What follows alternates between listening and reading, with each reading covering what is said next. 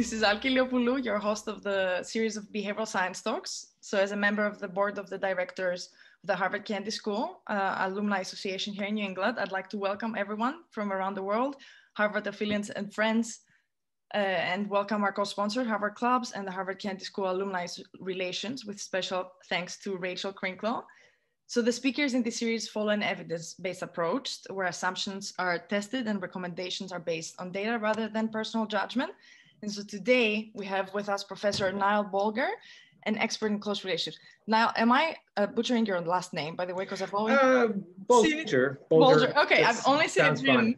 And uh, Yes, I I realized, so Bolger, thank you so much. So Niall, uh, a professor of psychology, Department of Psychology at Columbia, director uh, of the couples labs at Columbia, and very well cited with over 40,000 citations uh, so far. So before we start, quick updates. Uh, I'll paste everything in the chat as well. So May 6th, uh, 6th uh, we have Professor uh, Robin Dunbar, University of Oxford, where he's going to talk to us about friends and understanding the power of important relationships. Um, we've uh, started uploading uh, past videos of our talks in a YouTube channel, and you can subscribe if you want to be notified for uploads. And if you'd like to support our work, I'll paste the link here as well. So I'm gonna paste everything here so you guys have it. Um, all right. So you should have everything together. And then just a basic housekeeping and we're ready to start. So thanks again for everyone for adding your questions. Uh, we'll have a chat uh, today with Niall for about 40 minutes, 30 to 40 minutes, and then we'll open it up to Q&A. And then uh, throughout, you can add your Q, your questions in the Q&A faction at the bottom of your Zoom app, or even better, just raise your hand and I'll, uh, I'll let you uh, ask your question. So now, thank you so much for being here today. My pleasure. So you you your um you study close relationships. How many years have you done that so far? Well, uh, pretty much since I um, since I got my PhD. So that's uh, that's back in the late '80s. So that's a few decades now, I think. Um, uh, I've used a variety of methods to do to study relationships. Uh, a lot of them have involved um, studying couples in daily life, where I've had people complete these short daily questionnaires at the end of the day to tell me what happened during the day. And so I've, I've used that method to get a, a sort of an in detail kind of picture of what's happening every day over a series of weeks for usually for, for couples. And sometimes I've used this method around some really big event where one person in the couple has to do something really important, like take a, an exam to be a lawyer. So that's one big study that, that I did.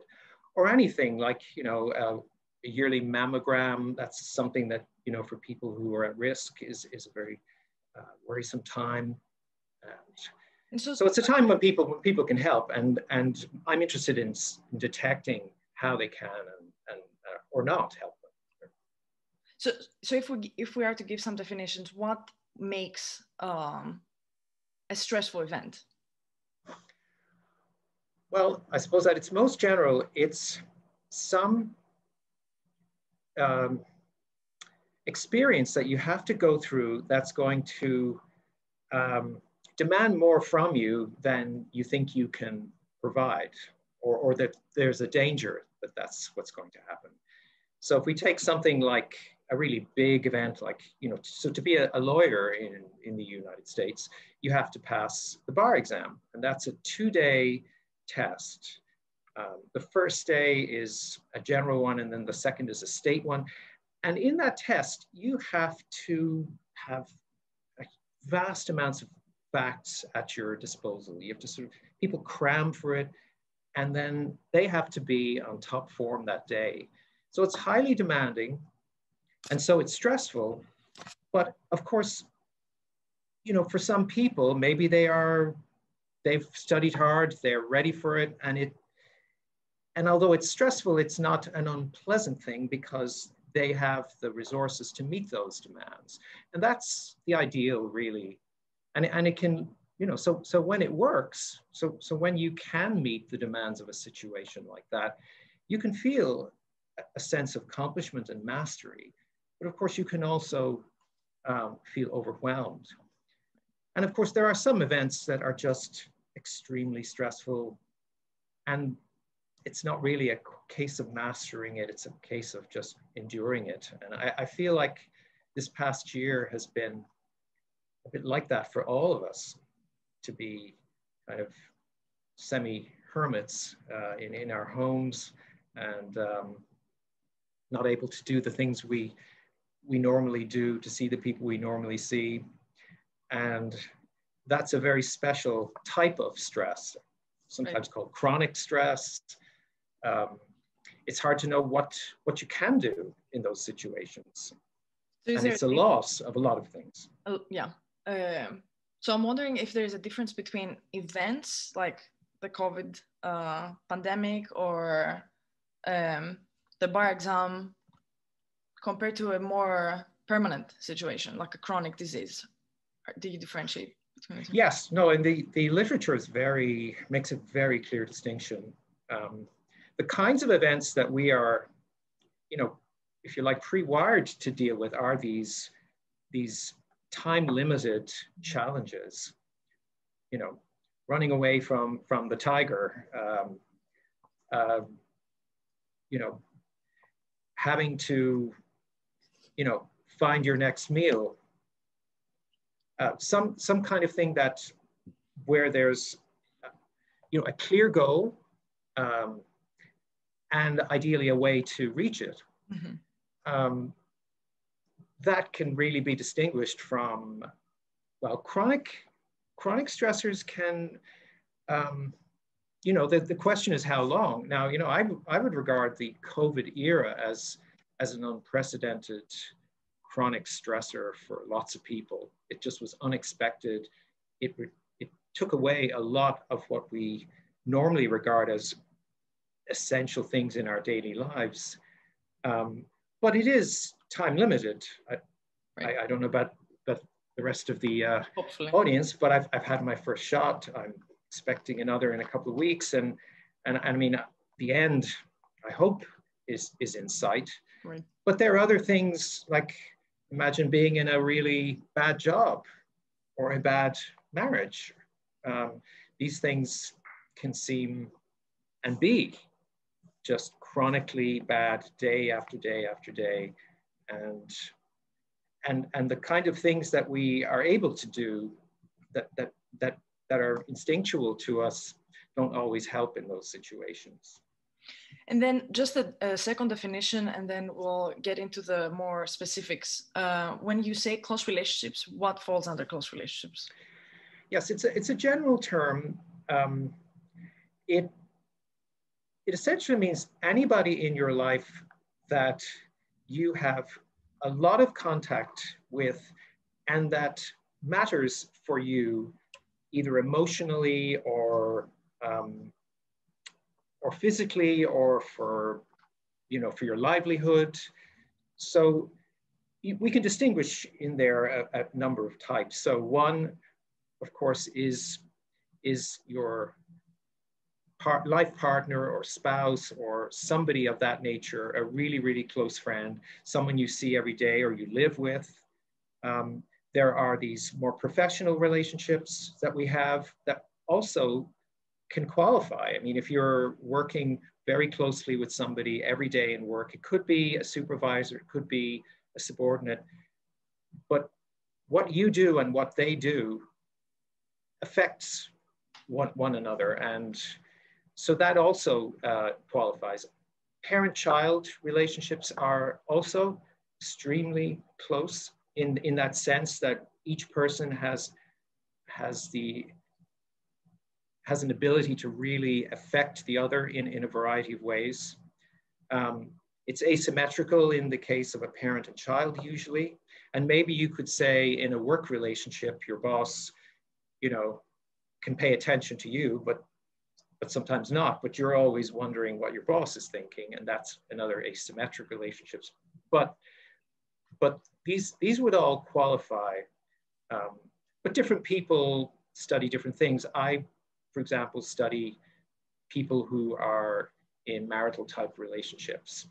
Um, and uh, that's been been my so I so I don't study parents and kids, but some of the some of the things that I am interested in are relevant to a variety of relationships, and, and I hope that if we do get into questions that I that I can stretch into other types and not just talk about what it means to be to be living with somebody in a in a committed relationship for for months and years. So uh, this this question comes a lot um, comes up often. Um, is there a healthy number of how many close relationships one can have, or an average? Yes, well, I, your your upcoming speaker, Robin Dunbar, I'm sure will have plenty to say about this. I think it varies.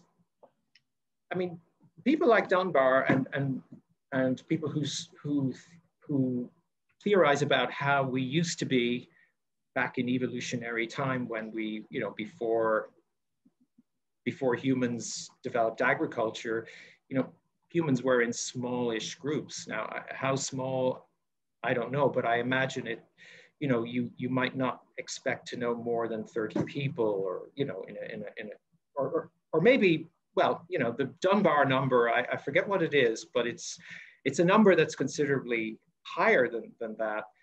But I think these days, um, you know, there's a lot of there's a lot of connections that that we have through social media, but but really close relationships, I, I don't think a lot of people have very many. It, it's got it will have a fair amount to do with what your preferences are. Um, so some some people like to have lots of friends, and and you know they may count you know 15 people as really close to them whereas i would think the more typical person would you know would would it would be a smaller number you know um, who knows maybe five or six people maybe two or three um, you know just back to this experience this past year you know i think we we have been you know we've all been cut off from, from a, a certain type of social contact, uh, real physical presence of others. And I think no matter how much you are kind of shy and prefer to not see too many people, I, I can't, there must be very few people in my mind who've been happy with the level of social, real social contact that they've, that we've been able to have um, in this past year. Um, whether it's being in person, and then that's leaving aside just the whole fact that we we can't really touch one another, we can't get close to one another. So now you um, you're a special, I think, case of uh, of a professor that teaches both social relationships classes and statistics. I don't think this is very common for a professor or psychology. Probably not. Probably right. not, actually. And um, so was there was there was a, a just yesterday again there was a high profile research that was debunked uh, and they just realized that the, the data don't add up and they can't replicate uh, can you tell us more about the replication crisis and uh, the importance of it. Yeah. Yes. Well it's it's been a it's been a rough period uh, to be um, well i think in science in general but it, it has hit psychology particularly hard. And you know, my more general field is social psychology, and there's been, you know, what's happened is that, you know, there, there have been very high profile studies that were published in journals that we expect to not be publishing things that won't replicate. Um, and attempts to replicate some of these studies have failed. Now, the dust hasn't settled on this. You know, I've been teaching statistics for most of my uh, career. So I've always felt that things like making sure that your measures are good, making sure that you have enough people to be able to make um, reasonable generalizations, these things have always been important to me and I've tried to um, emphasize them in, in um, with my students and in, in my own work. So I've, I've found the emphasis on you know, doing the statistics correctly, making sure that to the extent that you can, that you let everyone know exactly what you did, exactly what statistics, and that you make your de-identified data, you know, so not not any not confidential data, but the but the numbers that are really that really matter for your statistics. I've I've always believed that we should be open about those things. This has all started to happen. I mean, it, it has already. This, there's been a huge shift in, in the way people, there's been less research published and more research that is based on bigger samples and where external experts can examine the data. So I, I think that it's been, it's been very sobering. Uh, personally, for me, I've, I've felt like, okay, now, you know, people, people's eyes would just glaze over when I would talk about, well, the need for a big enough sample. And now their eyes don't, don't glaze over as much. I'm talking about colleagues who, who really just rather think about the, you know, the, the, the, the substance of, of psychology and, and what, whatever their scientific field is. But I, I think that you can't separate the rigor of the methods from, from, from the kind of conclusions. So I, I find that people are more open to learning statistics and, and, and trying to do things correctly. And I've seen a big change in the sample sizes that people are using and the norm that that whatever you've done with your data, you, you have to make them available to other experts to check. And that is going to make all of us be better researchers. And so I, I'm, it's, it's been a hard time, but I also feel like it's, it's probably been necessary. And we, we don't know, you know, we, we, we're still not sure about certain classic findings, whether they, they will hold up.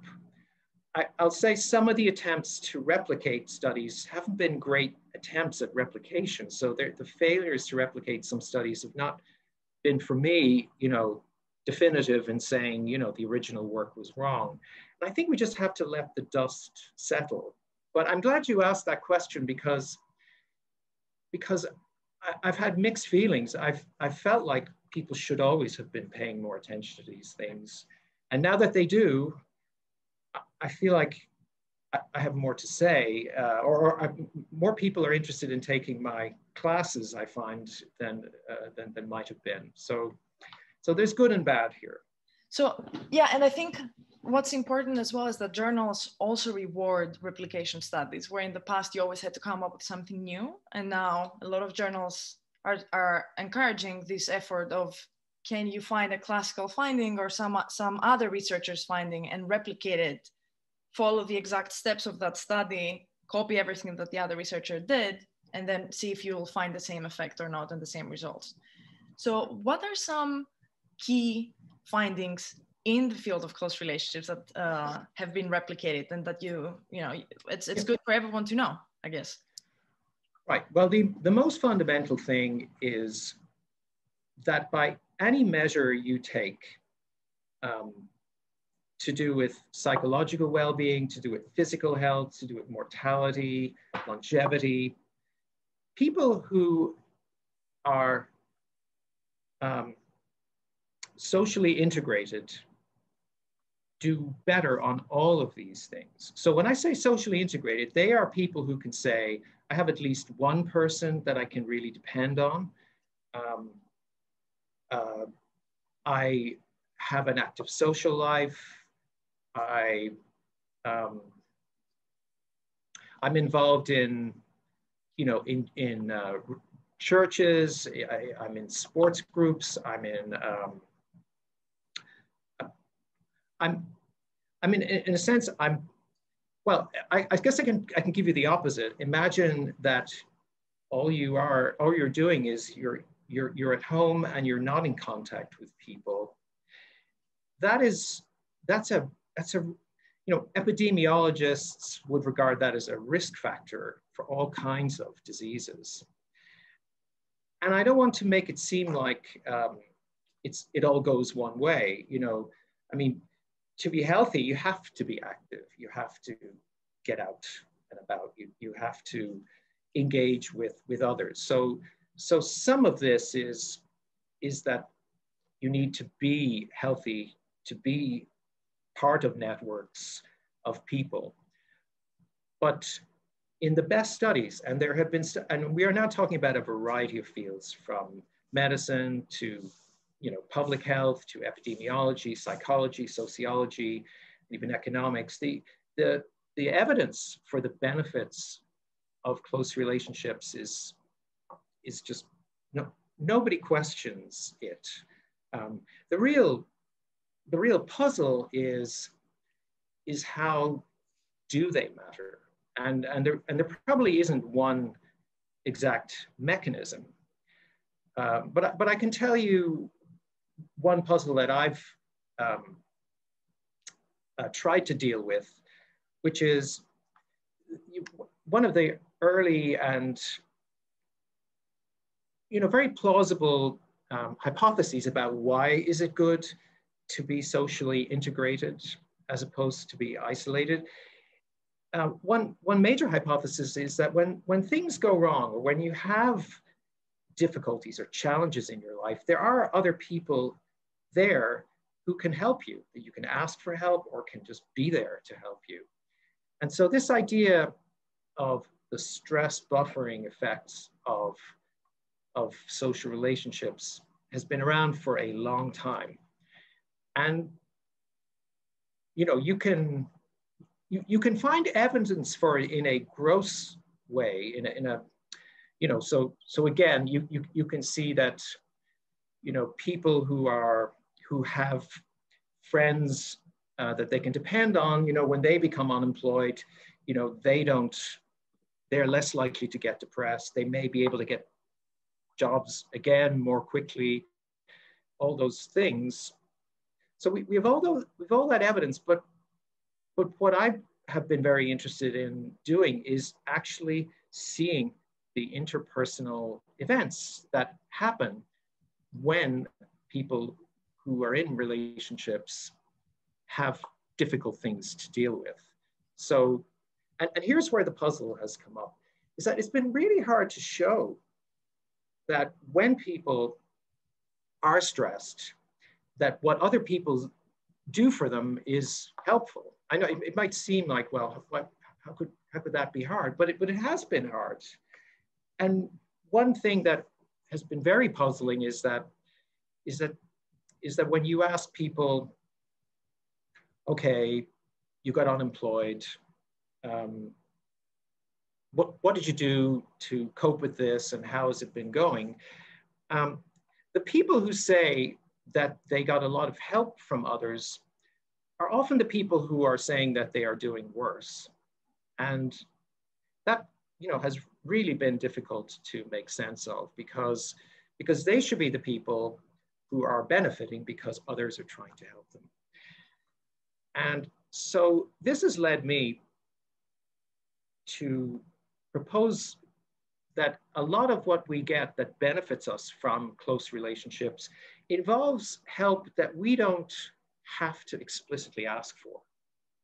That a lot of it is part of the routines that we have with the people we live with and the friends that, that we have. And so our interactions are not ones where, okay, it's been a terrible day, you know, help me, you know, make me feel better. I, like if we, if we take that example, when people do come home, you know, unhappy from, from work, of course, hasn't been happening to lots of us because we've been at home. Maybe we've been at work, but we've not got, we haven't had that um, that separation of home and work.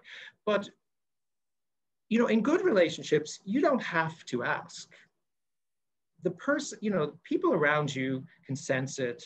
They can adjust to your behavior. They can do things like maybe do the dishes or whatever, things that you, that if you were in better shape or in better form, that you, you know, maybe it's your turn to do it. But, but the people close to us can help us in ways that are not, that we can't um, articulate. And, and so by that reasoning, when, when we ask people, well, you know, did anybody help you?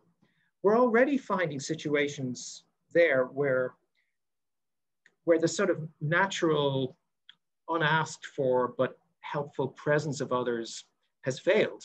And you've had to be more explicit and plead for help. So, so let's that, that's yeah. that yeah. So that's that's my thesis for why why I think a lot of what's beneficial about our close relationships is something that's sort of under the radar for a lot of us. Let's let's unpack that because you are very well known for for this concept, uh, this work of invisible support uh, that you've yes. uh, you've done. So um, let's let's understand first of all the benefits of good support. If if the support is good, either visible or invisible, what are the benefits uh, on on both us, like the individual that receives it, and the relationships in general? Yes. So if you define a stressful situation as one where you you there's there's some goal that you're trying to achieve. And, and it could just be you know you're you're trying to um, you know get dinner ready for you know tonight but but you're you're tired and you are finding it harder than than usual. Um, in good relationships those around you, whether they know it or not, can make this situation easier. They, they can help out or they can get out of your way. That, that sometimes is all that's necessary. They can, and, and they may be doing this without really thinking about what they're doing as being supportive. It's just they, they know you, they know what works, and they we, we may have a situation where their behavior enables you to do what's necessary to achieve the goal that you want or to, to yeah, to, to accomplish something that's important to you. And this is a is not a process that you can tell someone like me and if i interview you or your partner may not be able to really articulate what's going on. And if that's the case, then we may not, you know, the methods that we normally use to try and see how people help one another um, may, may not be, you know, adequate to, to the task. So, so I've been using this idea to, to explore, um, you know, what's helpful in, in situations and I have evidence that, you know, both in a, a lab situation where you can sort of set up a, a stressful event or in daily life that, that the help that is, that you don't notice is usually the better kind for you. Now, not, not always, because I don't want to make it seem like um, the, the goal is always to be helpful without letting the person know you're helping them because there's uh, many situations where you need the help. You're at, you ask for it you get it from people who who care about you. But i think we miss a lot of it. We miss a lot of the so the benefits of social relationships are thing often they come from routine interactions where each person is benefiting, but they can't necess- they don't necessarily, not necessarily able to articulate it.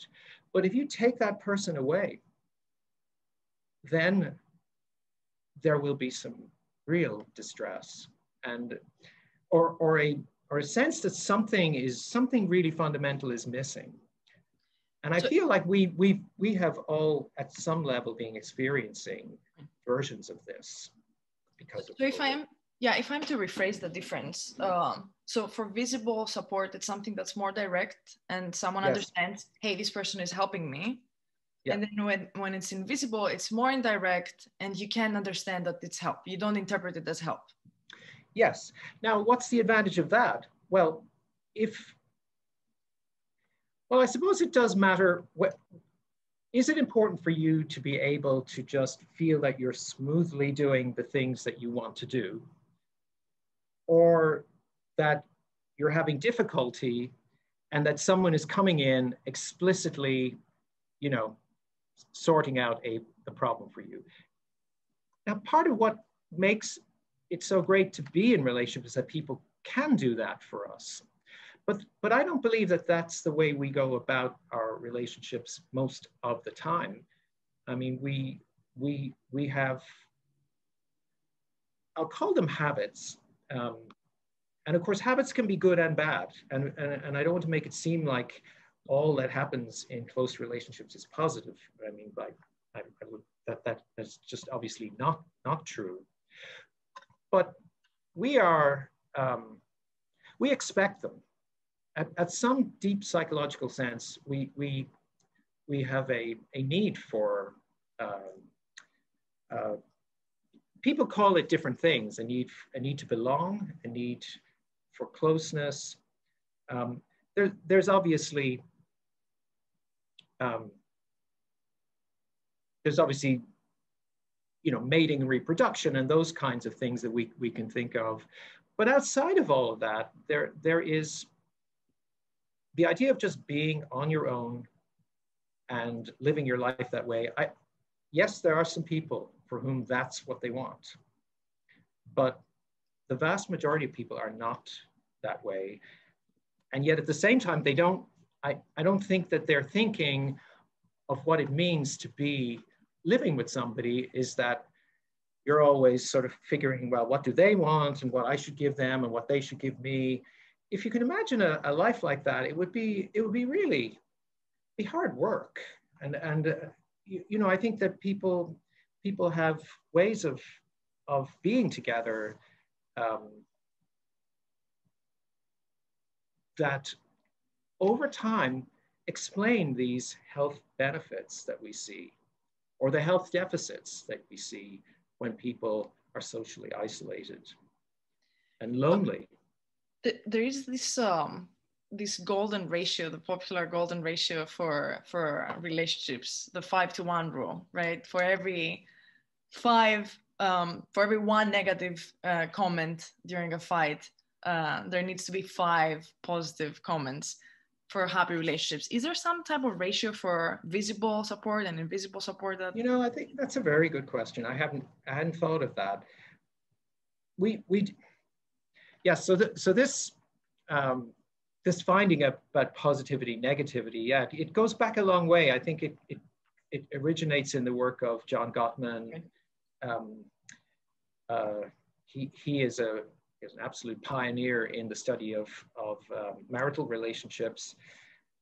It's certainly true. I, I, don't think just, just in marriage, but in most of our social interactions, um, positivity is expected. And, you know, neg negativity is, is avoided by most people. And so when it, when it happens, it is, it's, it contains a lot of information.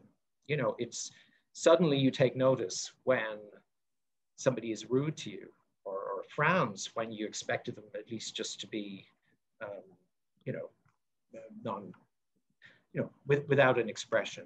Um, with visible and invisible support, well, I think what I like about your question is that I, I, I think that whether it's five to one or not, I, I think that the majority of it is is under the radar. I mean, if if if I were somebody, and I guess these kinds of things were impossible to imagine years ago, but now maybe not so much.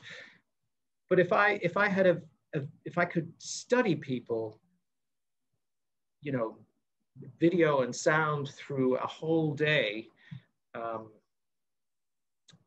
uh, as an, as an observer, I could probably identify situations where this person, if we took the other person out of the situation, this would be a more difficult situation for, for a particular person. Don't want to make it seem like that's the whole story because people get in our way, people are under our feet, people, um, you know, we would like to see less of certain people. Um, but but I, I think it's, I don't know that I'd say it's five to one, but I would certainly they're more invisible. I'd safely say three to one. okay. That, and, and I think it's just, it's, you can't articulate it, but you would know if you suddenly lost, lost that person. There, you, you know, I mean, I, I think for men, a, a lot of, a lot of men probably benefit from more from um, being in relationships than women. Um, I, I would imagine that their daily schedule is, is more constrained maybe their health behaviors are less uh, extreme. Um, but I think everybody benefits. So just to uh, close up um, the discussion here before we open up the for the Q and A, um, what can we do to improve this in this field? Is there is there a way for us to to become more skillful in our support? Mm. Uh, perhaps yeah. increase our empath empathic accuracy and even identify when should we give visible support and when should we give invisible support? Right. Well, one thing I should have said, and you did kind of uh, touch on it, is that helping others is a major source of positivity in people's lives. I mean, it, it's, you know, to see, for you to be able to do something for somebody else demonstrates that you, you know, you have, you have something valuable that you can do. And it is very gratifying to see somebody appreciate that. So, so that that's a visible support um, situation, what I've described. Somebody in need,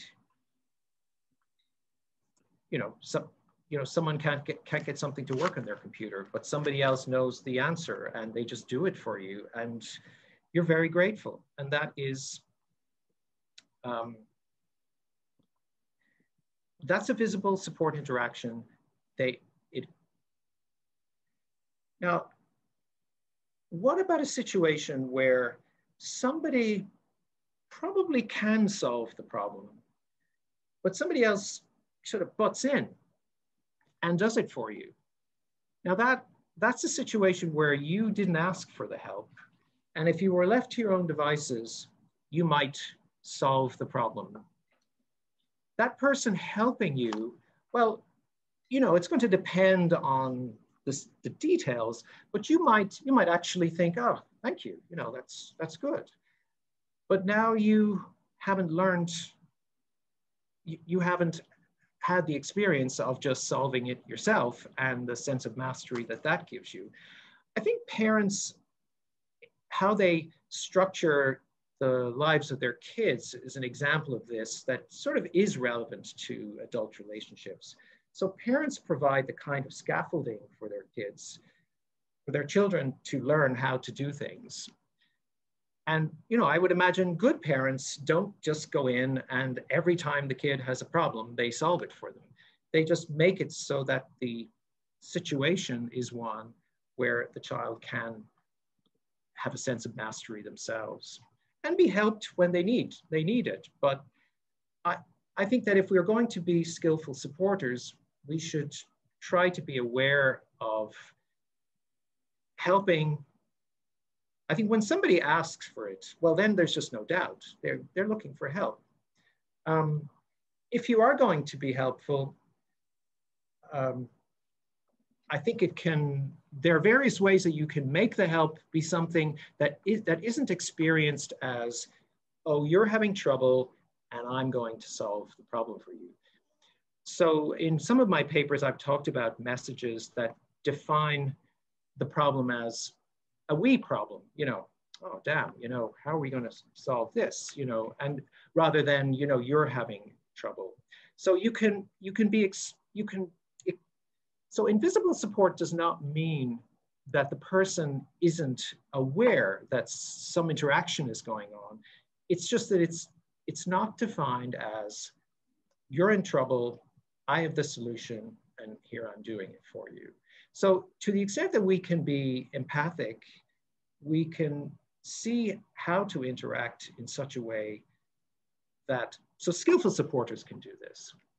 Skillful parents can have kids learn things where the parent has very carefully set up the situation where the child can learn and feel like they've solved it themselves. And maybe they have, but maybe they actually did have help. Um, so, but I think just, just to be clear about the more general phenomenon, I think that good relationships involve this back and forth of helping that is unnoticed on both sides. So people are doing this for one another all the time.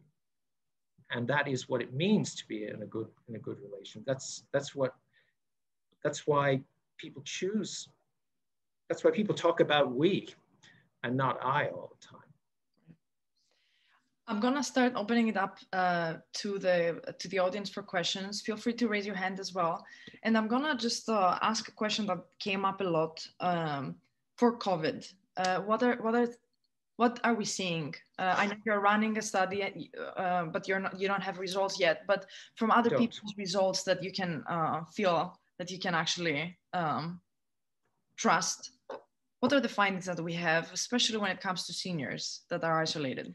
Well, you know, this is one of the more interesting things, surprising things that um, a, a, group uh, at Columbia has has found. It's it's this work is isn't published, but it is a uh, it it involves having um, people of different ages uh, over the course of COVID give um, reports every few weeks. So I think there may have been 12 different points of contact with these people. And, and COVID has been hard for all of us, but it hasn't been as the older people. So, so let's say people 60s and over versus people, you know, teens to, you know, early 30s. There, somehow it hasn't been from the from the reports of people that, that it hasn't been as bad for people who are older. Now, you know, why is that? Well, I mean, it can partly have something to do with how much you've lost by being stuck at home and not being able to be out and active. I mean, maybe maybe people who are older are are you know, don't need to do this as much. There's certainly evidence that people who are older by choice have less um, close relationships. And they're, they're more particular about who they spend their time with. Um, younger people are less particular. They, are, they, have, they bigger circles of friends. So it may, well, it may well be that there's just been a greater loss of social life for younger than older. We, we don't know, but, but that was the big surprise. It's, it's not like everybody's having a wonderful time, but the, but, there, but, but one would naturally worry about people who don't have a lot of contacts and COVID has just wiped them out. And it doesn't, at least for the people who've been in this study at Columbia, they, this hasn't seemed to be the case. So that, that is, I think, good news. Um, but I, I, I don't want to make it seem like this is, I think that there's been a lot of costs to this year that we won't know about until we get out of it and, and we see what state people are in uh, when, it's, when it's really over. Right. Uh, going to a question um, in the Q&A. So if um, th there is a difference between the spouse's desire for social life, what have you observed? What data do we have around uh, such a conflict? Hmm. I, and is there something that can happen to change? Well,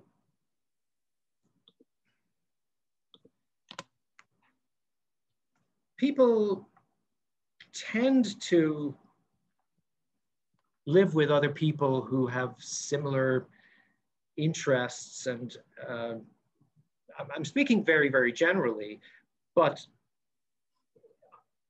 even allowing for that, there, there, there will be lots of differences. There'll be mismatches. And this can be something that changes over the course of a, of a, of a life. Mismatches in how much somebody else wants to um, you know, be out and about versus not. Um, what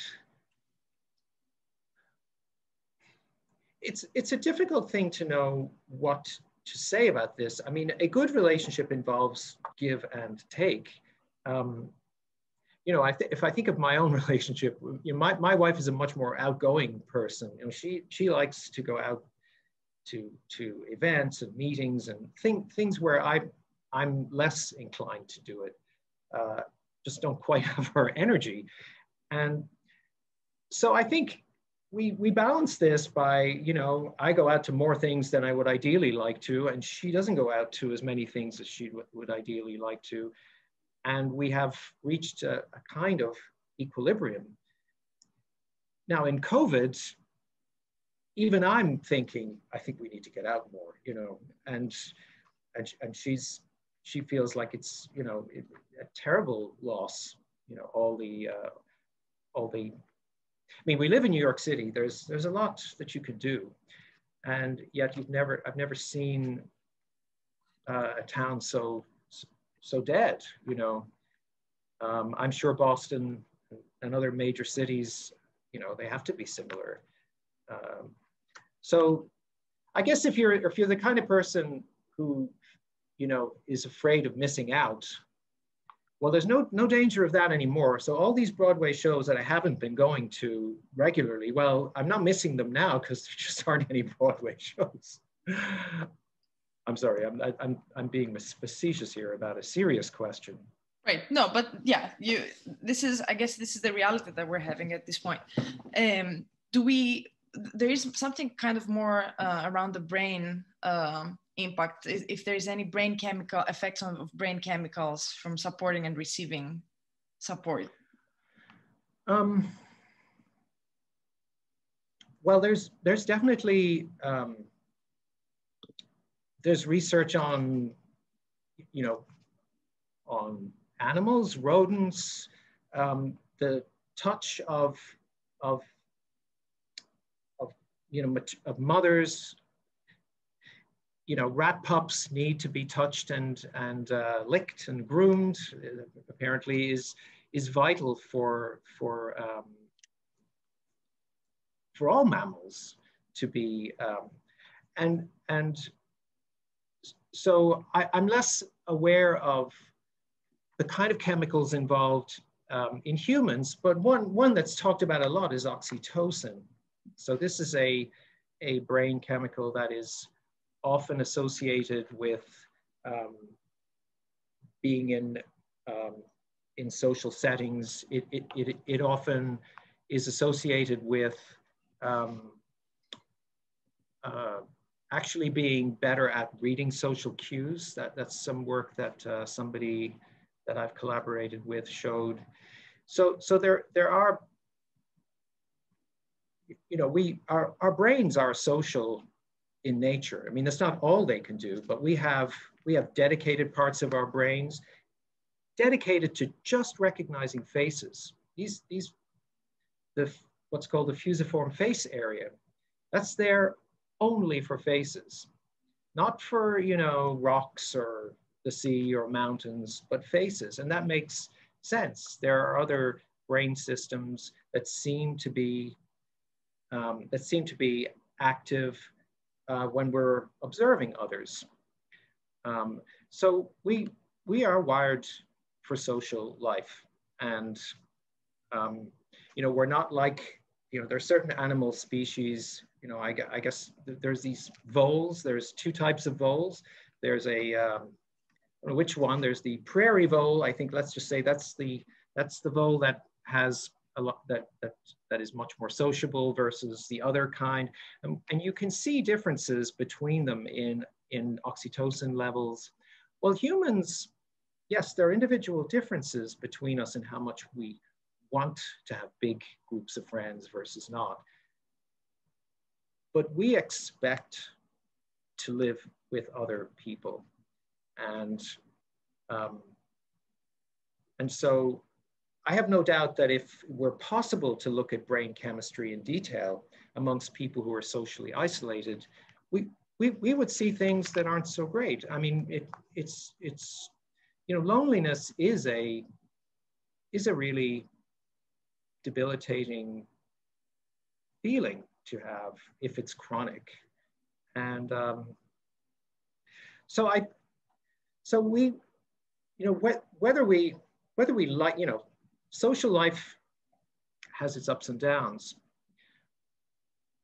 but we're worse um, if if we don't have it at, at all. And so, you know, what is a good life? It's it's it's a, usually a life with others, um, with whom we we are in a in a we have we have good habits together. We we enable one another to to be the kind of people we want to be, and I think that that again is a lot of it is very invisible or not explicit.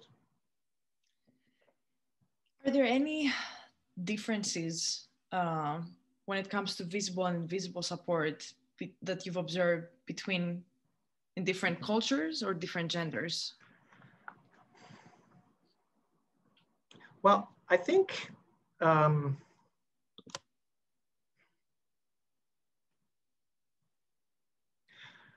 well, just stereotypically, I think I think men probably like to feel like they can do things by themselves.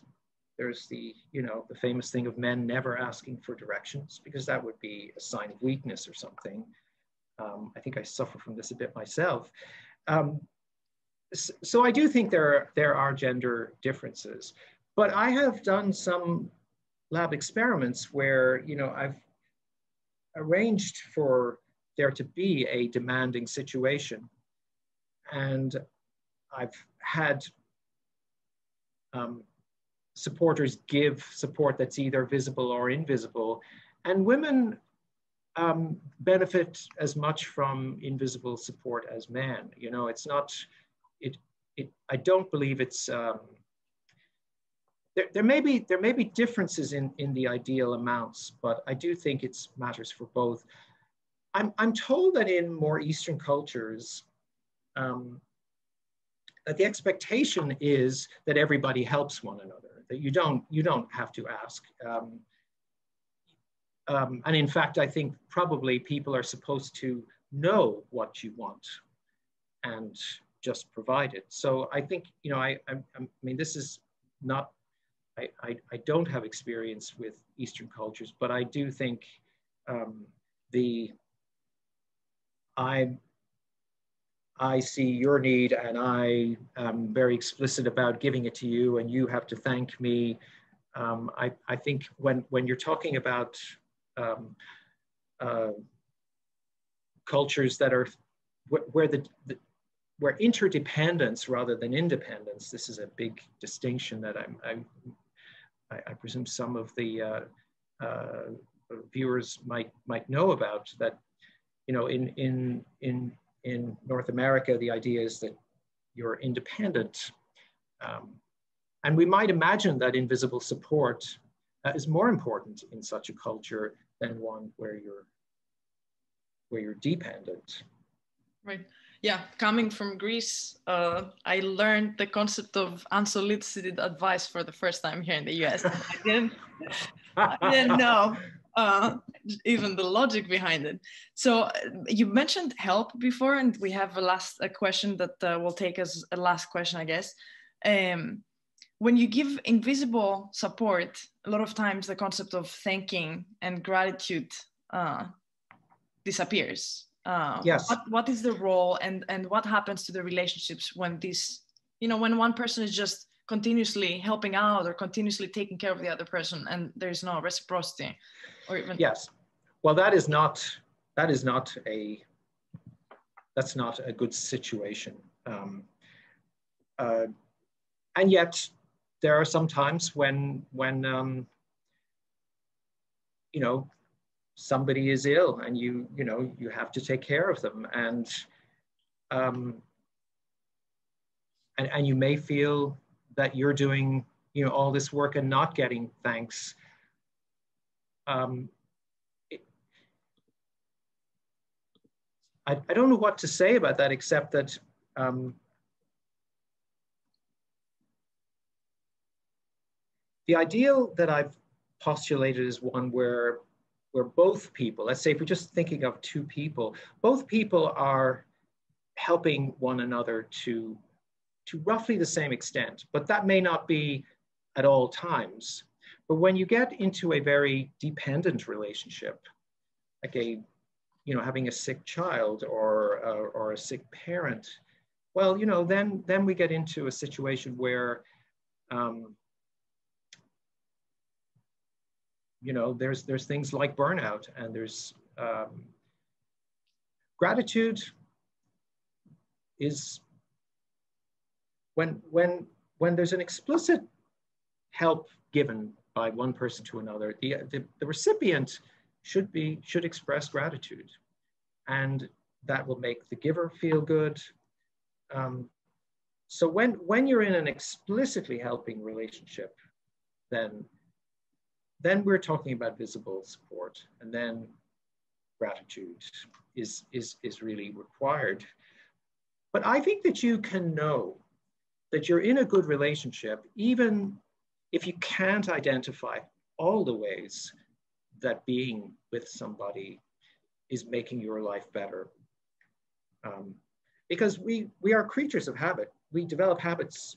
I mean, we get good and bad habits, but, but we develop habits quickly. And those habits mean that all the things that are going into them are no longer conscious and that is that's part of what it may that is we're, we're that's built in and so when we're in relationships where a lot of this support is habitual we may not be able to articulate it but i don't believe that people are clueless about when they're in a good or a bad relationship. I think I think that they do know.